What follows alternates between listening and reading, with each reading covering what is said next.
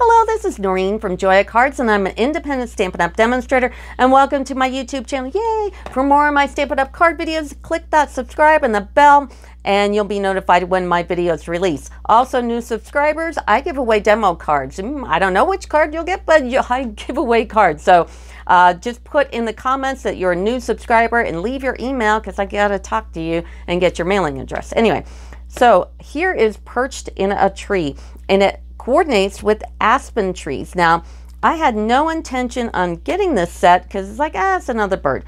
But it's in the new um, catalog through the mini catalog through the end of December. And what happened is Sale-a-bration Stampin' Up! ran out of the products. So they offered other things like the metallic uh, paper and um, also they had on there the embossing folder timber, which was great. I didn't have the 3D timber folder. And they gave away aspen trees. Well, aspen trees coordinates with perched in a tree. I know I wasn't going to get it because it's like it's another bird stamp. I don't know. So I thought, well, I'll go ahead and get it because I was getting this for nothing. So um, we have, I have actually four cards to show you and we're going to make the last one. So with, like everything else, I went ahead and I put it on my magnets here and I put them away.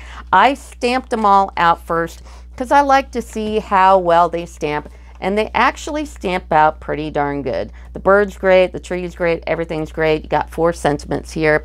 And then I die cut. So the first thing I die cut was that big die and you can do it a couple of different ways. Let me pull the die, sorry about that.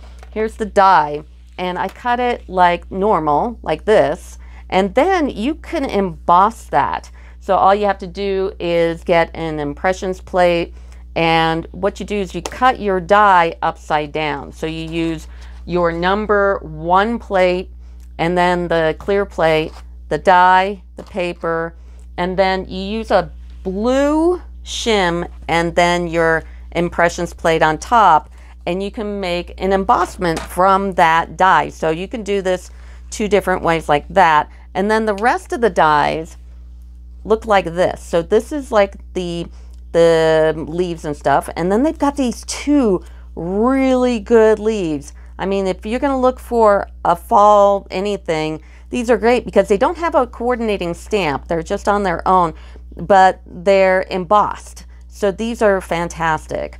And then you've got the tree limb and the bird. So let's get to showing you how to do the bird. So I took the bird and I took three different colors and I used the same color on each one of them. And that is the Daffodil Delight, the Night of Navy, and the Real Red. So what I've got on this sheet here is the bird in colored pencils using a blending pen. This bird is in Stampin' Writes, excuse me, Stampin' Blends. This one is Stampin' Write. So a Stampin' Write looks like this and a Stampin' Blend looks like this. And then the last one is watercoloring. And I like to use the really pointed water painter and it comes in this set here. So I used the pointy one to do watercoloring. Now what I liked about this bird is that I had a lot of control over like his wing here and I left some of it white and it looked kind of neat. But then I thought, well, this one looks, you know, I, I used to like this one more than the other ones and then it's like, eh, I don't know. And then this one's just too dark. So I went ahead and I did the watercolor pencil again and gave it more definition and it looked better. But then, and this is also another colored pencil one, I just do, did different colors. But the last card that I'm going to show you is the best, and I ended up using the watercolors. So let me show you the first card. Here's the first card, and believe it or not, it was kind of the easiest one. Uh, what I've got here is a basic black five and a half by four and a quarter. Now, all of my supplies, all the dimensions are in the description of the video.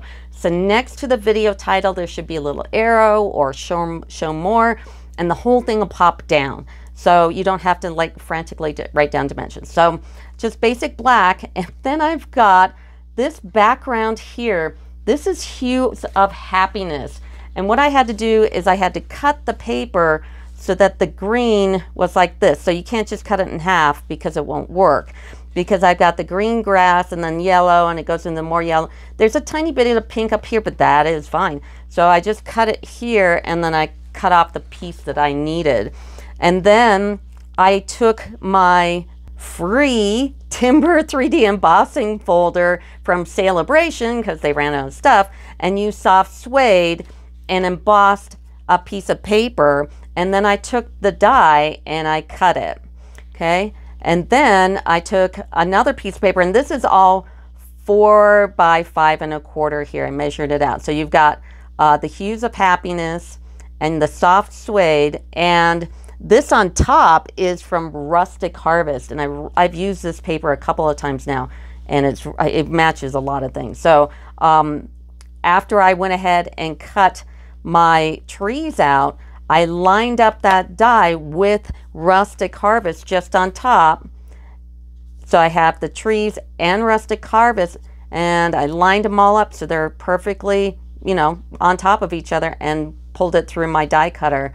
So this will fit perfectly. Now the only thing you have to do is you have to cut out all these trees because when you cut it, it's going to look like this. So what I did is took a very sharp, good pair of scissors and I cut all this out. Actually, I cut out the middle just get it out of my way, and then I snipped around it so I got that perfect frame. Now, when I put this down on the paper, I put the hues of happiness down, I just snailed it.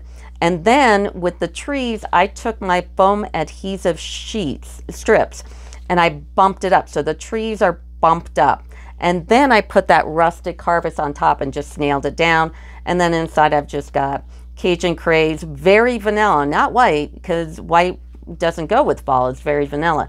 And then a little so saffron leaf here. So this is card number one. Here's card number two, and I, I actually like this card. This is kind of cute. It's on Evening Evergreen. I bordered it with Early Espresso, and I took a piece of basic white, and I stamped the trees first. So I went ahead and stamped them in Early Espresso, and it's like, it's not a tree, it's the branch. So I I just stamped the branch three different times. Actually, here's the stamp. And then I used the leaf stamp in two different colors. I used Mossy Meadow and Evening Evergreen. So I did the two different colors. I also did stamping off. So I stamped it and then stamped it again. And it made a really nice look for the trees. Now, usually when I do any kind of blending, um, I'll maybe do that first or second. In this case, I did it second because these are such strong colors that even when I use my blending brush and go over it, it's not going to really do any, I don't have to mask this at all. It's just dark enough to do that. And I went ahead and did the grass in um, Old Olive, and then I did Balmy Blue for the sky. The tag is from Painted Labels here, and the sentiment is from the stamp set. So, and then inside I just did early espresso. I used white here. I should have used very vanilla. And then I just did one of those awesome leaves. Those leaves are great. So this is card number two. Here's card number three. And this one turned out good too. So this is basic black. I bumped it up on Cajun Craze. Actually, it's not Cajun Craze. It's Merry Merlot that's under here. And then I took a whole bunch of colors. I took pumpkin pie, early espresso, so saffron, calypso coral, coral, crushed curry, Cajun Craze, Daffodil Delight, and Soft Suede. And I cut out both the large and the small leaves and I put it on a piece of uh, cardstock. You could pick any cardstock because it's actually on something. So I actually put this on white and I just nailed them down in order and then I flipped it over and I took some sharp scissors and I cut off all the edges. So it looked really cool. And then this is the largest or the second largest rectangle stitched frame just with the sentiment. Inside, you got that leaf inside too. And of course, the Merry Merlot. This is very vanilla. I got wise there. So this is card number three. And now we're going to look and make card number four. Here's card number four. Isn't it cute? It's so cute. We're going to be doing some blending and all kinds of stuff here. So let's start out with the card base. I use Pacific Point.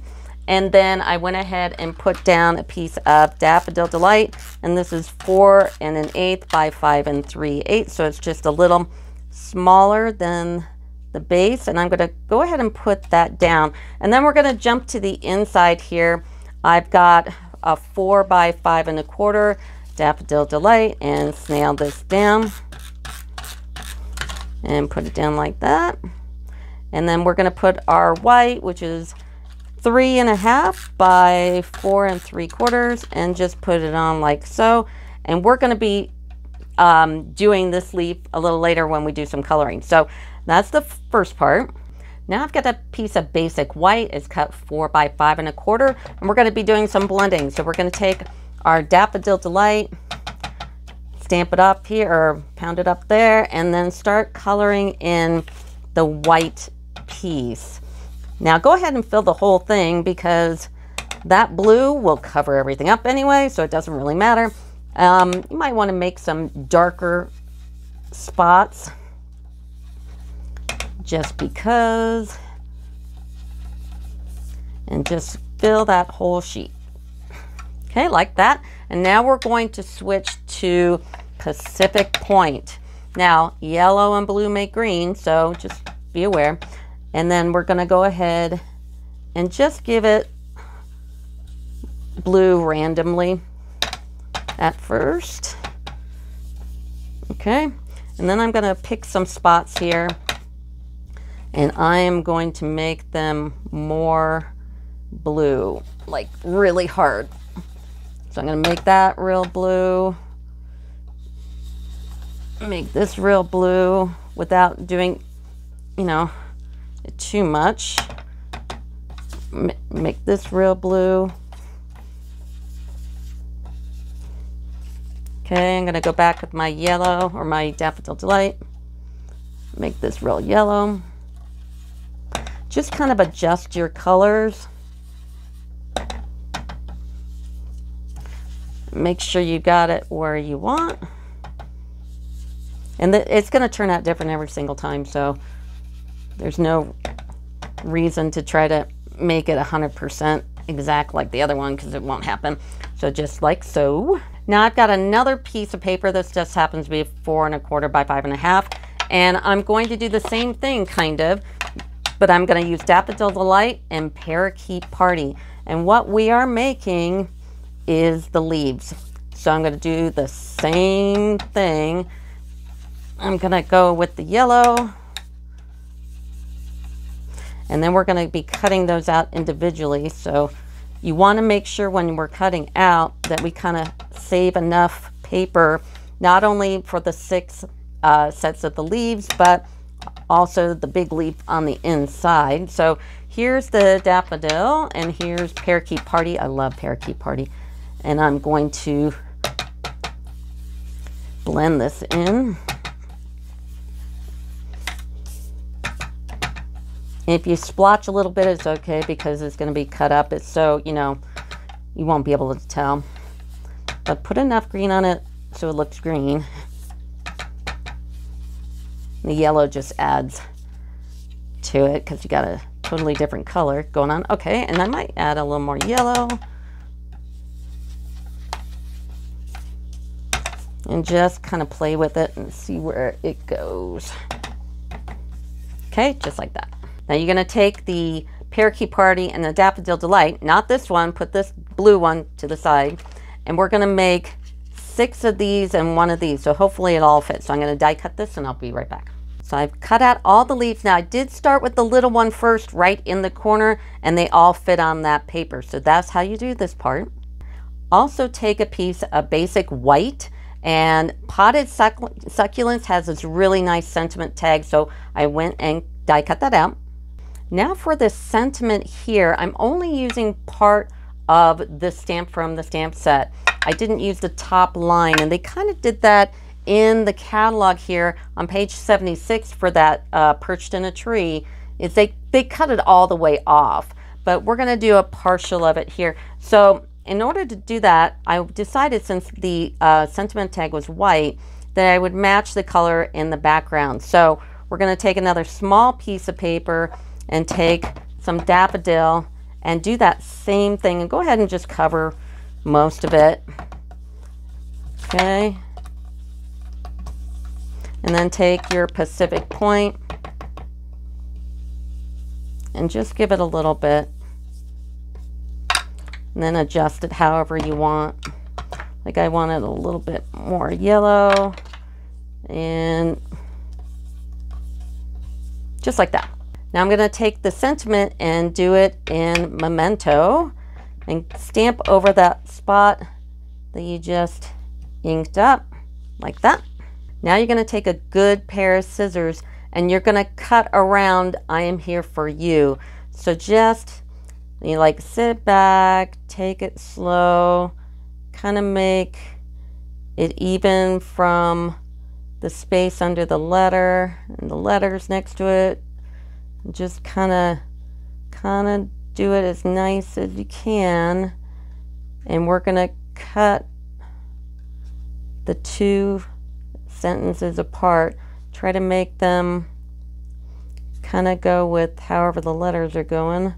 So I'm going to continue to cut this and I'll be right back. So your sentiment should look like that. And then we're going to grab some mini dimensionals and just put it up on the sentiment tag. And that's what it's going to look like. Now we're going to make the branch. So I'm going to take early espresso and I grabbed a piece of scratch from my folder here because I didn't want to, you know, I keep um, these storage solution folders and I'm an Amazon affiliate. When you go to the uh, description of my video, this will be listed there. You can click on that link and you know, it magically shows up at your door. It also helps me out since I'm an affiliate. I get a little kickback if you order anything. So I keep all my scraps in here. So I have this nice little scrap. So that's early espresso. And then I'm going to take crumb cake and another blending brush. And I'm going to color in the branch. And we get that. And now I'm going to die cut the branch. So when you're die cutting this branch, make sure you take a piece of tape. Now I use the delicate frog tape. You can get this at like any hardware store, but I have an Amazon link. So if you click on my link, you go to the description of the video, it'll be in there and it magically shows up at your house. So anyway, so I'm going to tape that down and die cut it. So I've got this branch and I'm not one for leaving that border on. So I'm going to take a pair of scissors and I am going to cut the border off. And once I get to the branches, I don't have to worry about that because it'll be covered up. So from here down, I'm just going to cut it off. Don't worry about the end either. We're going to hang it over the edge. So I'm going to cut it. I'll be right back. So I cut the edge off the branch. So now let's get to the bird. So we've got our bird and we are going to stamp Mr. Bird in Memento. And this stamp's really nice. So, I mean, no problem with that. Now I'm going to get my water painters and I'm going to get the one that's really pointy. And I'm going to grab crumb cake, Pacific Point, and daffodil. Now the crumb cake is for the feet. And you might want to also grab a little paper towel. And let's start, let's go ahead and do the feet really quick. Just get it out of the way. And keep it open like this because we're going to be dipping. So I'm going to get my water going here. So just take my paper towel, get it going. Maybe use the lid a little bit and kind of point it. Grab a little bit of ink and very, very lightly, barely touch it because you don't want to go down on it too hard. It'll go over those lines. You don't want too much water because that's memento. It's not stays on. And let's go ahead and fill in the little feet. It's so tiny. Just barely, barely tap it. So now we're done with the crumb cake. Now let's do the yellow part. So you got your Daffodil Delight. Now be careful about your um, water pen um, dripping on your on your area here because I accidentally dripped on this card front. And the reason why this is here is because there's a major drip there. And it worked out. So take your mistakes and make something creative. So um, I'm going to, what I'm going to do here, and I wasn't, I wasn't quite doing it in my example. So this was the, the watercolor one, and I just filled it in solid. But you really shouldn't do that with watercolors. You need to like make them. And what I did is I made it darker here and lighter as I went out. So that's what I'm going to do. I'm going to start where I want it dark the most, which is going to be next to the um, blue. And I'm just going to keep going and not dip it into the ink for a while. Or if I do, I'll start at the dark end again. And you want this to gradually get lighter. Now I've run out of ink at this point, so I'm going to have to start again. Starting there. And as I run out, just kind of go forward. Or you can get some, put it on your paper towel, and there it'll take off some of that ink. So we want it light as we go toward the outside. Just like this.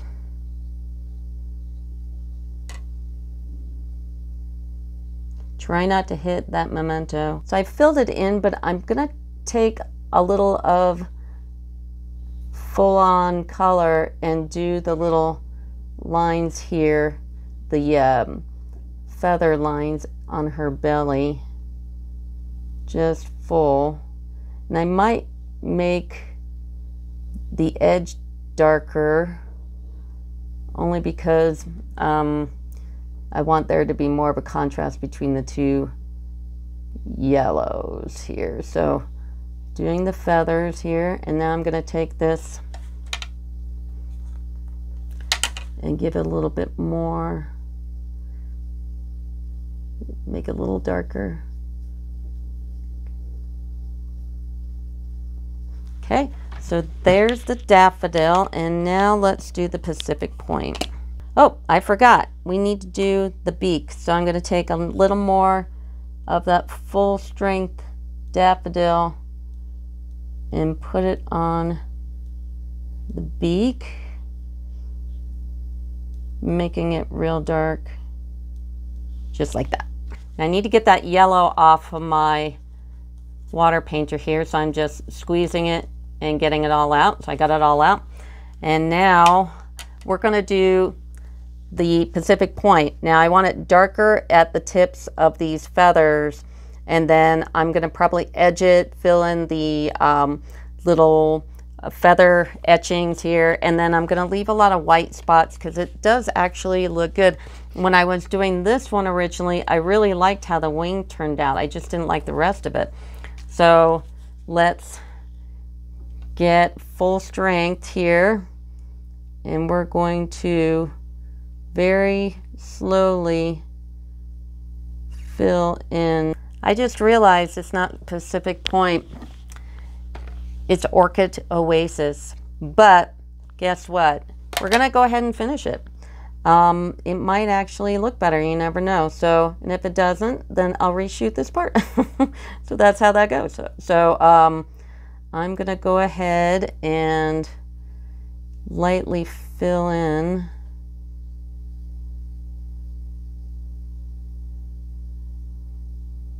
and I'm going to go over the head and I'm going to leave a lot of this just white.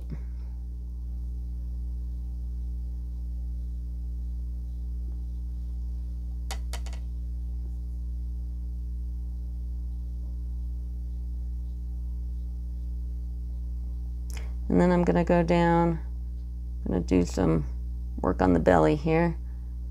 Decided that I wanted to make this all that color. Think I'll outline it, give her more color on the edge. This is why I like that pointed painter because I can really get into the little tiny spots and make really nice detail with this pointed one. And it only comes in that three pack or it used to. I'll make sure. I'll put it on the description of the video so you have it. You can just click on it. And uh, I am a demonstrator, so if you don't have a demonstrator or you need to place an order or whatever, go ahead and click on one of my links. I'll go right to my Stampin' Up site. And if you are a demonstrator, I love demonstrator subscribers. You guys are awesome. Thank you for subscribing. Sorry about that. I am at work and the phone rang. So now I'm going through and I'm giving full strength on the feathers on the lines here. And I also need to fill in her belly.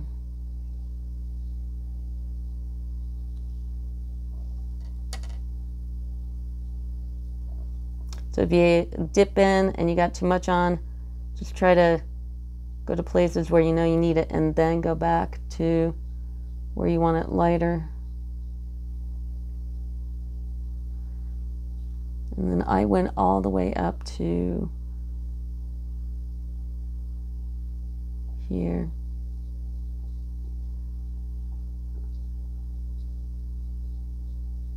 So we'll see how the blue one works. If you're watching the blue one, I decided that this was, was just as cute as the Orchid Oasis. I swear to gosh.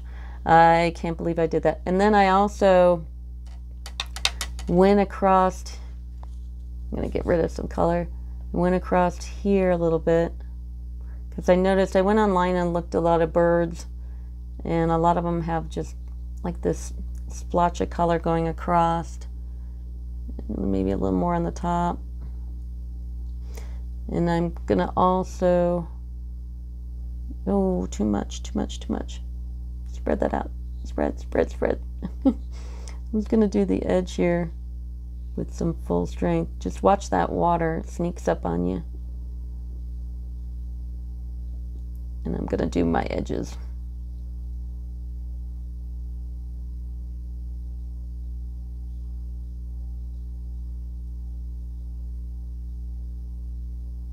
Notice I left a lot of white. I'm doing that on purpose.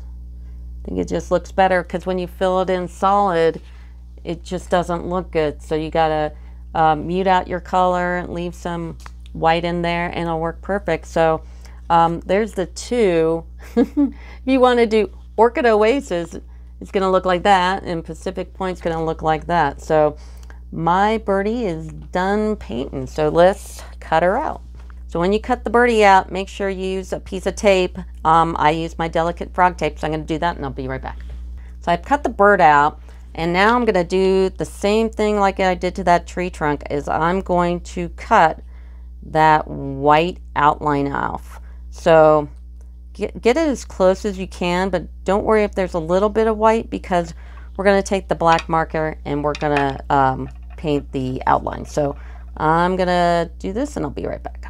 So I cut the birdie all out, but you can't get all that white off. So I'm going to take my black Stampin' Write now. The black Stampin' Write you can buy just by itself. It's like four bucks in the catalog. So I'll put that in the description of my video. And you can click on it and you can go right to my site and place an order. So I'm going to go ahead and line this with the black and get rid of any kind of white. And I'll be right back.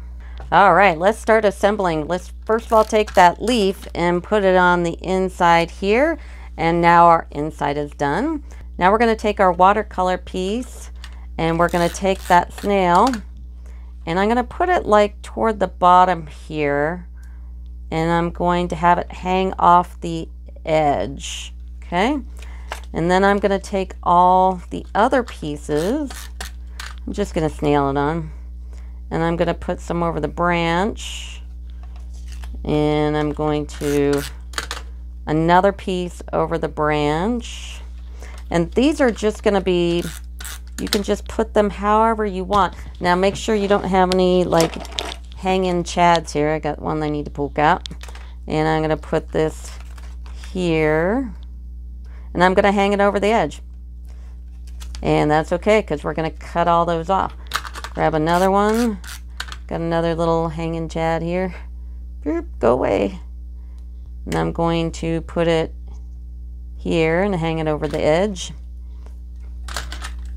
And we had six of these, so that's okay. I'm going to put this here and then put this like that.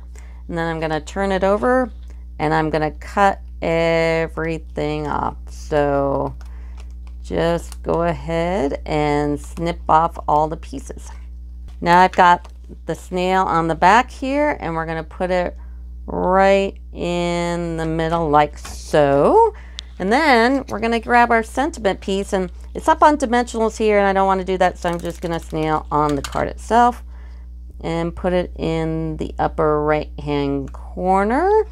Then I'm going to grab Mr. Bird and put some dimensionals on. So I put the dimensionals on there and a half of a mini dimensional there and just put your bird up on your on your branch and that's the card. So you got a Pacific Point and Orchid Oasis. You could choose whichever one you like. Anyway, so that'll do it for me. Thanks a lot. Bye.